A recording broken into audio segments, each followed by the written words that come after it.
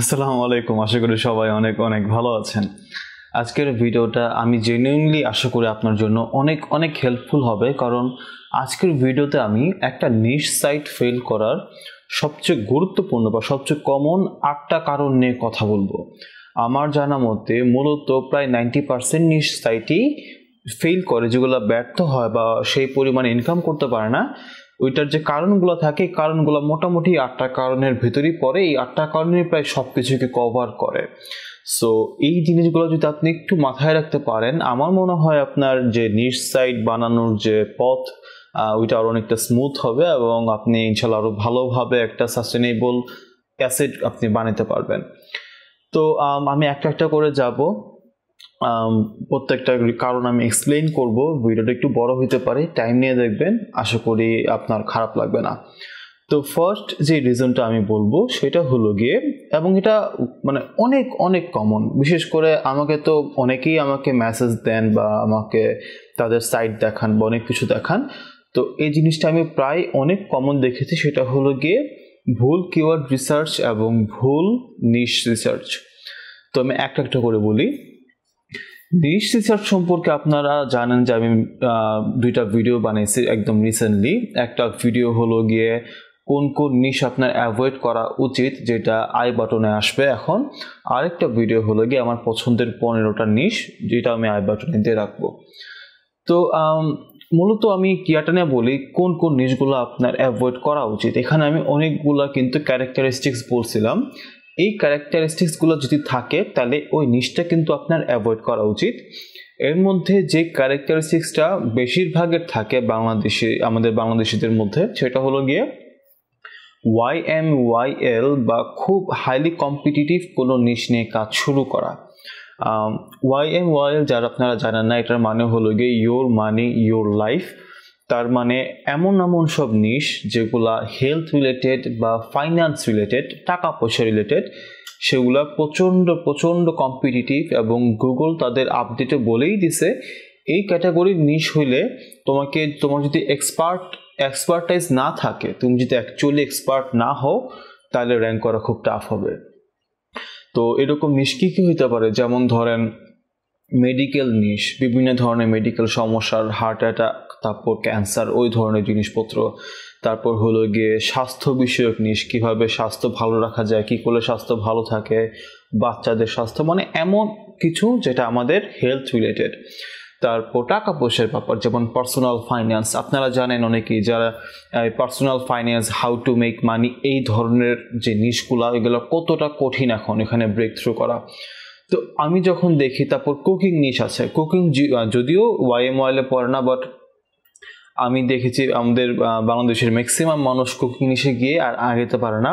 কারণ কুকিং নিশ প্রচণ্ড টাফ একটা নিশ এটা ব্রেক থ্রু করাও অনেক টাফ তো এই যে এই কঠিন নিশগুলোতে আমরা শুরুর দিকে যাই, যে দুই তিন মাস, চার মাস যাওয়ার পর দেখি যে আর আগানো যাচ্ছে না বা কিওয়ার্ডগুলো নিয়ে আমি তেমন ভালোভাবে কিছু করতে পারতেছি না বা আমি আর্টিকেল লিখলাম, কিছু র্যাঙ্ক করতেছে না।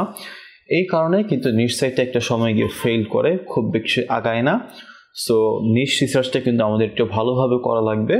আমি আবারও আপনাদের রেকমেন্ড করব যদি আপনি সাইট শুরু করে না থাকেন, আমার নিশ নিয়ে বানানো দুটো ভিডিও কিন্তু আপনি দেখে নিতে পারেন, যেগুলো আই বাটনে থাকবে। তাহলে মোটামুটি আপনার একটা ক্লিয়ার ধারণা হবে ইনশাল্লাহ এর সাথে আমি যে জিনিসটা নিয়ে কথা বলব, সেটা হলো গিয়ে ভুল কিওয়ার্ড রিসার্চ এখন, এই আমি যখন কিওয়ার্ড রিসার্চ নিয়ে কথা বলি, আমার একটু আনইজি লাগে। কারণ একটু ডিটেলসে আমি এক্সপ্লেন করি। প্রথম কারণটা একটু সময় লাগবে, পরেরগুলো ইনশাল্লাহ তো সময় লাগবে না।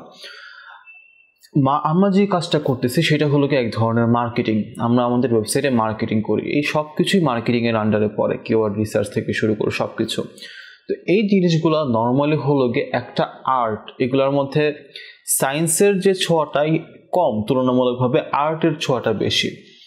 এখন আর্ট কিন্তু করার নির্দিষ্ট নিয়ম নাই হ্যাঁ? এক একজন মানুষ এক একভাবে করতে পারে।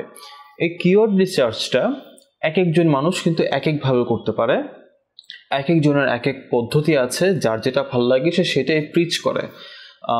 আমি কোনোভাবেই বলতেছি না, আমি যেটা করি সেটা সবচেয়ে ভালো অন্য অন্যদের যেটা করে সেটা খারাপ। এই no way I am saying that আমি যেটা বলতেছি সেটা হলো গিয়ে, আমি যে ওয়েতে কিওয়ার্ড রিসার্চ করাটা শিখেছি অন্য অন্যদের কাছ থেকে আরও বড় বড় মার্কেটদের কাছ থেকে আমার মনে হয় সেটা দিয়ে বর্তমান সময়ের প্রেক্ষাপটে ভালো ভালো কিওয়ার্ড বের করাটা আরও easier in in comparative compare in comparison to other methods such as ধরেন আপনি কোনো কিওয়ার্ড রিসার্চ টুল ইউজ করে আপনি কিওয়ার্ড চেক করেন। যেমন কেডি দেখে আপনি কিওয়ার্ড নেন, এই টাইপের জিনিসপত্র। আমি এটা ফার্মলি বিলিভ করি, আপনি যদি মানে কেডি দেখে কিওয়ার্ড নেওয়াটা এখন বর্তমানে খুব ভালো কাজ করে না। কারণ কেডি বা কিওয়ার্ড ডিফিকাল্টি এটা হলো একটা টুল আপনাকে বলতেছে, সে কি মনে করে? বাট টুলের কথায় আসলে গুগল চলে না। আপনার দেখা উচিত ম্যানুয়ালি একটা কিওয়ার্ড কি কিওয়ার্ডের কম্পিটিশনটা কীরকম? এটা কি লো কম্পিটিটিভ নাকি এটা হাই কম্পিটিটিভ এটা আপনার নিজের একটু ম্যানুয়ালি রিসার্চ করে দেখা লাগবে। কোনো টুলের কথা শুনে বর্তমান সময়ে না আগানোই ভালো। তারপর পার্সোনালি ব্যক্তিগতভাবে আমি ডিএপিএ দিয়েও কিওয়ার্ড রিসার্চ করি না। আমি মনে করি না সেটা খুব একটা এফেক্টিভ মেথড এটা আমার চিন্তা ভাবনা আমি যেভাবে কিওয়ার্ড রিসার্চ করতে পছন্দ করি, এটা নিয়ে আমার চ্যানেলে বেশ কয়েকটা ভিডিও আছে। আমি একটা দুটা ভিডিও উপরের আই বাটনে দিয়ে দিব, এবং ডিসক্রিপশনেও থাকবে। সো এগুলো আপনারা দেখে নিতে পারেন। মূল কথা দিন শেষে, আপনি যদি চান, ধরেন আপনি ডিএপি দিয়ে কিওয়ার্ড রিসার্চ করতে চাচ্ছেন, আমার কোনো সমস্যা নেই, করেন। বাট এর সাথে আপনি ম্যানুয়ালিও কিওয়ার্ডটা চেক করে দেখেন এটার কম্পিটিশন কীরকম। জাস্ট ডিএপিএ দিয়ে বা কেডির উপর ভরসা করে থাকেন না ম্যানুয়ালি চেক করে দেখবেন। নাহলে মানে অনেক, অনেকবার আমি দেখছি যে আপনি খুব সুন্দর একটা, একজন একটা সাইটে খুব সুন্দর একটা আর্টিকেল দিছে, অনেক অনেক টাকা খরচ করে আর্টিকেল কিনছে, লিখছে, দিছে but the keyword is too too too much competitive so এই ব্যাপারটা একটু খেয়াল রাখা লাগবে আমাদের। যাই হোক, এক নম্বরটা নিয়ে অনেকক্ষণ কথা বলে ফেলছি, পরেরটা, সেটা হলো গিয়ে লোয়ার কন্টেন্ট কোয়ালিটি আমাকে তো অনেকে আর্টিকেল দেয় বা তাদের সাইট দিয়ে দেখার জন্য। তো সাইট দেখে আমার সমস্যাটা এই জায়গায় হয় যে আমি দেখি যে সাইটটা সুন্দর থিমও সুন্দর ডিজাইন সুন্দর সব কিছু সুন্দর, কিন্তু কন্টেন্টের অবস্থা একদম বারোটা। এই কারণটা কেন হয় আমি বলি আমাদের যে বেশিরভাগ মানুষ যারা আমরা সাইট শুরু করি, আমরা কিন্তু নিজেরা আর্টিকেল লিখি না, একজন রাইটার হায়ার করি। আর কেউ যখন নতুন নতুন কন্টেন্ট কিনে আর একজন রাইটার হায়ার করে, সে স্বভাবতই চেষ্টা করে কম দামে কন্টেন্টটা কেনার, কারণ রিস্ক ফ্যাক্টরটা কম রাখার চেষ্টা করে। এখন আমি এইটা বলতেছি না যে যিনি কম দামে সার্ভিস প্রোভাইড করে, তার সার্ভিসের কোয়ালিটি খারাপ, এটা আমি কখনোই বলতেছি না বাট আমি এটা বলতেছি যে কম দামে যিনি রাইটিং মানে কম দামে যে রাইটিং সার্ভিসটা দেয় কারেন্ট চলে গেছে আমার। যাই হোক, আমি যেটা বলতেছি যে, কম দামি যে রাইটিং সার্ভিসটা দেয়, তার মানে একটা কো রিলেশন আছে। দাম কম হওয়ার সাথে সাথে কোয়ালিটি খারাপ হওয়ার। দ্যাট ডাজেন্ট মিন আমি কম দামের সার্ভিস দিলেই আমার সার্ভিসটা খুব খারাপ, তা না বাট যদি কেউ কম দামে সার্ভিস দেয় জেনারেলি সে হলো একজন বিগিনার তার তখন এখন এরকম এক্সপিরিয়েন্স নাই, তাই সে জিনিসটা কম দামে দিচ্ছে। আর এই কারণে তার সার্ভিসের কোয়ালিটি হয়তো বা ভালো হচ্ছে না। তো এই কারণে বিগিনাররা যখন কম দামে কন্টেন্ট নেয়, দেখা যায় যে কন্টেন্টের কোয়ালিটিটা খুব খারাপ হয়। আর আমরা ম্যাক্সিমামই জানি না একটা কন্টেন্টের কোয়ালিটি কীভাবে বিচার করতে হয়, কীভাবে বুঝতে হয় কন্টেন্টটা ভালো না খারাপ। সো সে ভালো মনে কন্টেন্টটা কিনে ফেলে কম দাম দিয়ে, ওইটা নিয়ে আর্টিকেল লিখে এবং আমি যখন দেখি, তখন দেখি যে আর্টিকেলের কোয়ালিটি খুবই খারাপ। সো এটা একটা কারণ। আর পরের কারণটা, তিন নাম্বার রিজন সেটা হলো গিয়ে কন্টেন্ট পাবলিশিং যে রেটটা সেটা খুব কম হওয়া। দেখেন, আমি আপনাকে বলতেছি না, আপনি প্রত্যেক দিন একটা করে কন্টেন্ট পাবলিশ করেন, দরকার নেই, কোনো দরকার নেই। বাট আপনার যদি প্রথম তিরিশটা কন্টেন্ট পাবলিশ করতে ছয় মাস লাগে যায়, সেটা কিন্তু একটা সমস্যার কারণ। কারণ শুরুর দিকে গুগল কিন্তু দেখে একটা সাইট মোটামুটি কোন রেটে কন্টেন্ট পাবলিশ করতেছে। যদি ব্যাপারটা এমন হয়, আপনার একটা কন্টেন্ট পাবলিশ করতে লেগে যায় দুই সপ্তাহ, তাহলে গুগল জিনিসটা পছন্দের চোখে দেখে না।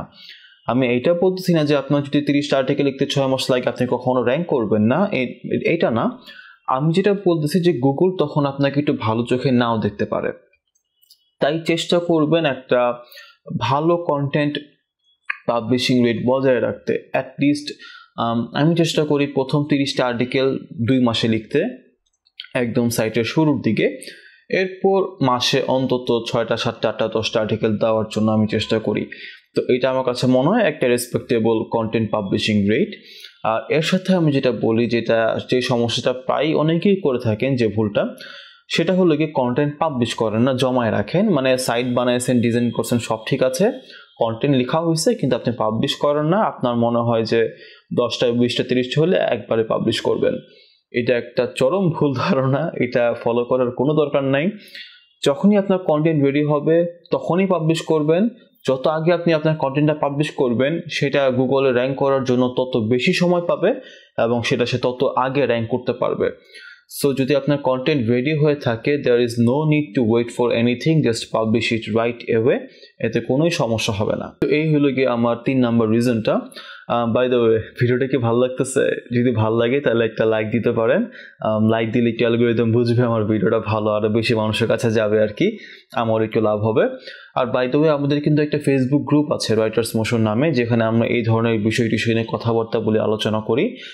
ডেসক্রিপশন বক্সে আমি গ্রুপটা লিঙ্ক দিয়ে দিব, আপনি চাইলে কিন্তু জয়েন করতে পারেন। আচ্ছা এখন আমরা যাব চার নাম্বার রিজনিংয়ে চার নাম্বার রিজনটা হলো গিয়ে খালি প্রোডাক্ট রিভিউ লেখা। এটা আমার এখন আসলে খুব বেশি করে এক্সপ্লেন করার দরকারও নেই। আপনারা জানেন, কয়েকদিন আগে অ্যামাজনের একটা প্রোডাক্ট রিভিউ আপডেট আসছিল। সরি অ্যামাজনের না গুগলের একটা প্রোডাক্ট রিভিউ আপডেট আসছিল অ্যালগোরিদমে এবং ওইটার পর অনেক অনেক সাইট কিন্তু ধরা খাইছে। আমাদের বাংলাদেশের ভাইদেরও অনেক সাইট ধরা খাইছে যারা খালি বেশি বেশি রিভিউ কন্টেন্ট লিখতো।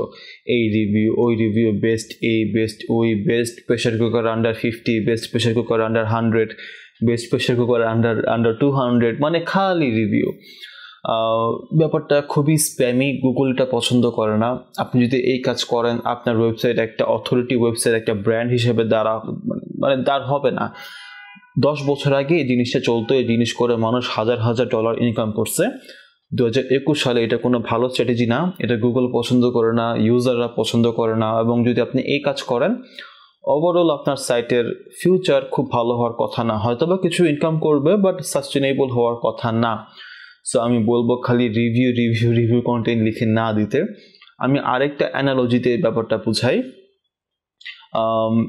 ধরেন আপনি নতুন বাসা নিছেন সো নতুন একটা বাসা নেওয়ার পর আপনি, বা নতুন আপনি মনে করেন আপনার ফ্রেন্ডের কাছে গেলেন ফ্রেন্ডের কাছে গিয়ে বললেন যে, নতুন বাসা নিলাম, এখন আমার কি কি করা উচিত? বাসাটা কীভাবে আমি সাজাবো? কি করলে ভালো হয়?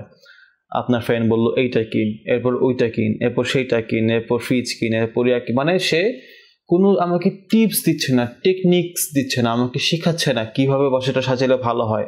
খালি বলতেছে এইটা কিন, ওইটা কিন। ও খালি চাচ্ছে যাতে আমি প্রোডাক্ট কিনি এবং এরকম যদি ফ্রেন্ড হয়, তাহলে অবভিয়াসলি তার সাথে কথা বলে আমার ভালো লাগবে না। কারণ আমি জানতে চাইছি আমি বাসাটা কেমনে সাজাতে পারি। সে আমাকে খালি বলে যে, তুমি এটা কিনো, ওইটা কিনো, সেটা কিনো, আর কত কিনবো? তাই না? তো ওয়েবসাইটে মানে যারা খালি রিভিউ কন্টেন্ট দেয়, অনেকটা এরকম যে আপনি রিডারদেরকে বলতেছেন, খালি এইটা কিনতে, ওইটা কিনতে, সেটা কিনতে। রিডার আপনার সাইটটা দেখেই বুঝবে যে আপনার সাইটের একমাত্র উদ্দেশ্য হলো গিয়ে রিডারকে অ্যামাজনে পাঠানো, যাতে রিডার কিছু কিনে এবং আপনি একটা কমিশন পান। সো এই জিনিসটা খুব ভালো একটা স্ট্র্যাটেজি কিন্তু হবে না। তারপরের রিজনটা অনেক গুরুত্বপূর্ণ একটা রিজন এবং অনেক কমন একটা রিজন নিজ সাইট ফেল করার, সেটা হলো গিয়া ল্যাক অফ পেশেন্স ধৈর্যের অভাব। বর্তমান সময়ে আপনি যদি একটা নিজ সাইট শুরু করেন, আপনার যে প্রথম বেচের কন্টেন্টগুলো বিশটা তিরিশটা যতটাই কন্টেন্ট হোক না কেন এই প্রত্যেকটা কন্টেন্ট র্যাঙ্ক করতে বা মোটামুটি তারা তাদের লাইফ টাইমে যেই ট্রাফিকটা আনবে, সেই ট্রাফিকটা আসতে প্রায় আট থেকে এক বছর লেগে যায়, আট মাস থেকে এক বছর। এই রিসার্চ আমি করি না এই রিসার্চ করছে ইনকাম স্কুলের জিম অ্যান্ড রিকি সো আপনার চিন্তা করতে হবে, আপনি এখন যে কন্টেন্টটা লিখতেছেন, সেটা যে ফল দিবে, এটা আপনি মোটামুটি এক বছর পরে গিয়ে পাবেন। এই ধরনের ধৈর্য যদি আপনার না থাকে, আপনি যদি কুইক রিটার্ন আশা করেন then this business is not for you একটা টাইম ছিল যখন একটা সাইট বানিয়ে আর্ন করতে বেশি সময় লাগতো না। এক দেড় মাসে খুব ভালো আর্ন করা যেত। স্যাডলি ওই দিন আর নাই, দিন বদলাই গেছে। এখন আর্ন করার জন্য আপনাকে অনেক দিন ওয়েট করতে হবে, আপনার সাইটটা বিল্ড করতে হবে গ্রো করতে হবে। এবং যখন আট, নয় মাস পর গুগল আপনাকে বিশ্বাস করবে, আপনার সাইটকে বিশ্বাস করবে তখন কিন্তু সে আস্তে আস্তে কিওয়ার্ডগুলো র্যাঙ্ক করানো শুরু করবে এবং তখন আস্তে আস্তে ট্রাফিক আসবে, আপনার ইনকামও বাড়া শুরু হবে। বাট এর আগ পর্যন্ত আপনার তেমন কিছু আশা করা উচিত হবে না। আশা করলে আপনি আশাহত হওয়ার চান্স বেশি থাকবে। সো আপনি যদি এই লাইনে আগাইতে চান, নিজ সাইড বানাতে চান, অবশ্যই আপনার একদম ধৈর্য ধরে আগাইতে হবে। তাড়াতাড়ি কিছু এক্সপেক্ট করা যাবে না। এরপরের সমস্যা নো ডাইভার্সিফিকেশন ডাইভার্সিফিকেশন নিয়ে আমি আগেও একটা ভিডিও বানিয়েছিলাম। আমি এখানে আই বটনের লিঙ্ক দিয়ে দিব চাইলে দেখতে পারেন। ডাইভার্সিফিকেশনের ব্যাপারটা কি? আমি একদম ইজি করে বলি। ধরেন আপনি একটা ওয়েবসাইট বানিয়েছেন। এই ওয়েবসাইটটায় খালি গুগল থেকে ট্রাফিক আসে, আর কোনো খান থেকে আসে না। জাস্ট হান্ড্রেড পারসেন্ট ট্রাফিক আসে গুগল থেকে। এখন ধরেন এক বছর পর আপনার, ধরেন আপনার ওয়েবসাইট মাসে দশ হাজার পেজ ভিউ পায় হ্যাঁ? এখন ধরেন এক বছর পর গুগলের একটা আপডেট আসছে অ্যালগোরিদম আপডেট এবং এই আপডেটের পর গুগল আপনার সাইটকে একদম ফালাই দিয়েছে। মানে আর র্যাঙ্ক করাচ্ছে না, কোনো আপনার আর্টিকেলই র্যাঙ্ক করতেছে না। এখন তিনি কি হইল? আপনার ট্রাফিক কিন্তু একদম ফল করল। আপনার ট্রাফিক একদম দশ হাজার থেকে সাই করে নিচে নেমে গেল। এখন ধরেন আরেকজন একটা ওয়েবসাইট বানিয়েছে তার ওয়েবসাইটেও মাসে দশ হাজার ট্রাফিক আসে, কিন্তু ওই ট্রাফিকটাই ধরেন ছয় হাজার আসে গুগল থেকে, দুই হাজার আসে ইউটিউব থেকে, আর দুই হাজার আসে প্রিন্টারেস্ট থেকে। ঠিক আছে? মানে ডাইভার্সিফাই করা। যেখানে আপনারটা আসতো খালি গুগল থেকে, এখানে তারটা আসে গুগল প্রিন্টারেস্ট এবং ইউটিউব থেকে, কিন্তু সমান সমান ট্রাফিক আসতেছে। এখন যখন ধরেন এক বছর পর গুগল তার অ্যালগোরিদমটা আপডেট করল, তার সাইটও ড্রপ করছে যে খালি গুগলের উপর ফোকাস করছে ওনার সাইটে ড্রপ করছে যে খালি, যে গুগল প্রিন্টারেস্ট এবং ইউটিউবের উপর ফোকাস করছে। কিন্তু আপনার সাইটে কিন্তু দশ হাজার থেকে পেজ একদম জিরো হয়ে গেল। তার কি হবে? তার দশ হাজার ট্রাফিকের মধ্যে কিন্তু খালি ছয় হাজার আসছে গুগল থেকে। সো এই ছয় হাজার জিরো হইলেও চার হাজার কিন্তু তার থাকবে। সো তার সাইট একদম জিরো হয়ে যাবে না। এটা দিয়ে আমি যেটা বুঝাতে চাইতেছি, এটা জাস্ট একটা অ্যানালজি এটা দিয়ে আমি যেটা বোঝাতে চাচ্ছি সেটা হলো গিয়ে ডাইভার্সিফিকেশন খুবই ইম্পর্টেন্ট সাস্টেনেবল গ্রোথের কারণে মানে সাস্টেনেবল গ্রোথের জন্য। আপনি যদি ডাইভার্সিফাই না করেন, আপনার বিজনেস সবসময় খুব রিস্কের মুখে থাকবে এবং যে কোনো মানে যে কোনো সময় আপনার বিজনেস কিন্তু ফল করতে পারে। আজকে যদি আমার সব ট্রাফিক গুগল থেকে আসে এবং যদি গুগল একটা আপডেট দেয় অ্যালগোরিদমে তাহলে এমন হইতে পারে আমার সব ট্রাফিক সাথে সাথে শেষ হয়ে যাবে।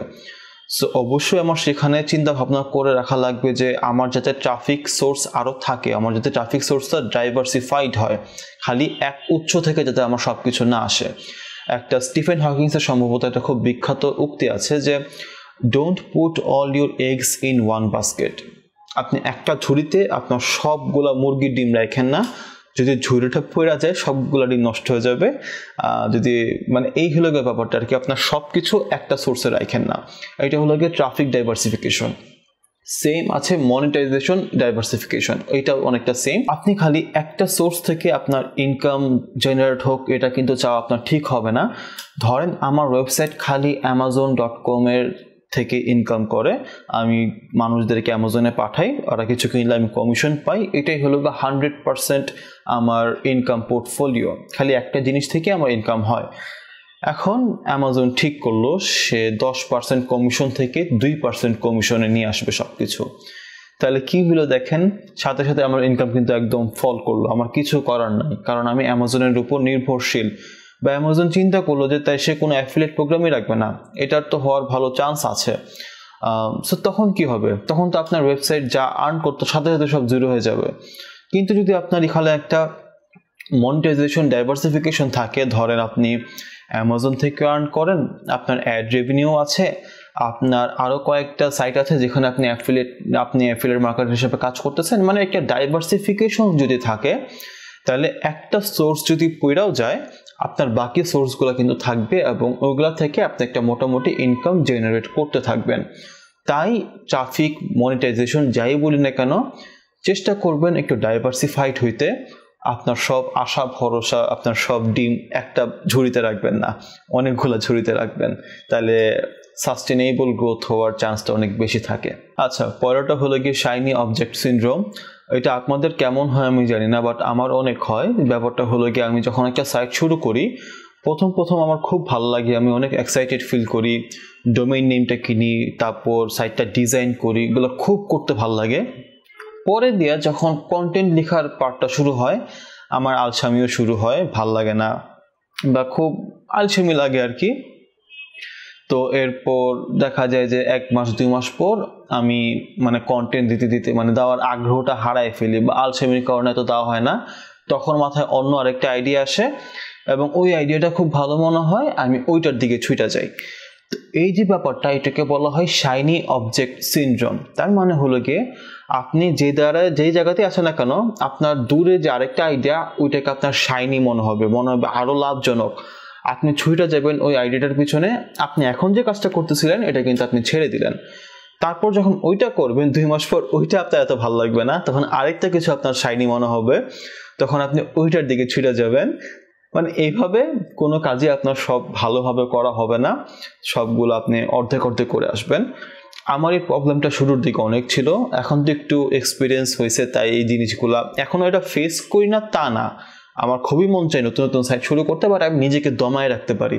নিজেকে কন্ট্রোল করতে পারি যে, না, আমার এখন এগুলো শুরু করা উচিত হবে না। আমার অলরেডি অনেক কিছু আছে ওগুলোর উপর আমার ফোকাস করা লাগবে। তো এই হলো গিয়ে শাইনি অবজেক্ট সিন্ড্রোমের ব্যাপারটা। যদি আপনার থাকে, একটাই ব্যাপার হলো গিয়ে, আমি বলতেছি না আপনি একটাই সাইট বানাবেন, আর কোনো সাইট বানাবেন না। আমার অনেকগুলো সাইট আছে, আপনি চাইলে অবশ্যই অনেকগুলো সাইট বানাতে পারবেন, কোনো সমস্যা নাই। বাট যখন আপনি একটা সাইট বানাচ্ছেন গ্রো করতেছেন ওইটা একটা সার্টিন পর্যায়ে না যাওয়া পর্যন্ত অন্য কিছু শুরু করেন না। গ্রো করতে করতে করতে করতে একটা ভালো পর্যায়ে নিয়ে যান, যেখানে স্যার যেখানে ওই সাইটটা নিজে নিজে চলতে চলতে পারবে। আপনার খুব বেশি ডাইরেক্ট ইনভলভমেন্ট লাগবে না। ওই পর্যায়ে যাওয়ার পর আপনি নতুন আরেকটা সাইট শুরু করেন, সমস্যা নাই। তো এই হলো কি ব্যাপারটা। একসাথে অনেক কিছু শুরু করেন না, তাহলে কোনোটাই ভালো মতো হবে না।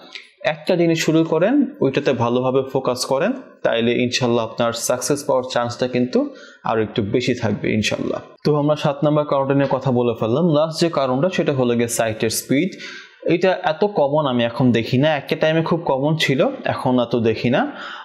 সাইটের স্পিড যে খুব মানে বাজেভাবে আপনাকে ফেল করাবে, এরকম না। সাইট স্পিডের কারণে একটা নিট সাইট ফেল করছে। জাস্ট সাইট স্পিডের কারণে এটার নজিরও কম। বাট তাও যদি আপনার ওয়েবসাইটের স্পিড খুব খুব কম হয়, তাহলে এটা চিন্তার বিষয়। যদি আপনি টপ টেন টোয়েন্টি পার্সেন্টের মতো থাকেন, যদি আপনার ওয়েবসাইট জিটি ম্যাট্রিক্স বা গুগলের পেজ স্পিড টুলে যদি সত্তর, আশির উপরে মোটামুটি স্কোর আনে, তাহলে এত টেনশন করার কথা না। মানে দরকার নেই এত টেনশন করার। যদি এর চেয়ে কম হয়, যদি লাল মার্কে থাকে, তাহলে একটু আপনার চিন্তা ভাবনা করা লাগবে সাইটের স্পিড নিয়ে। সাইটের স্পিড ঠিক করার জাস্ট বেসিক কয়েকটা জিনিস আমি বলে দিই।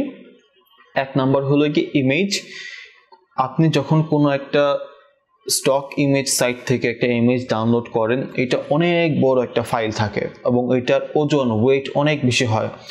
এইটাকে ক্রপ করে বা এটাকে ছোট করে ছোট একটা সাইজে আনা লাগে, ঠিক আছে? ছোট একটা সাইজে আনবেন, এতে ইমেজটার ভারও কম হবে, আপনার ওয়েবসাইটটাও তাড়াতাড়ি লোড হবে। সেকেন্ড হলো কি একটা ইমেজ কম্প্রেশন প্লাগিন আপনি ইউজ করতে পারেন।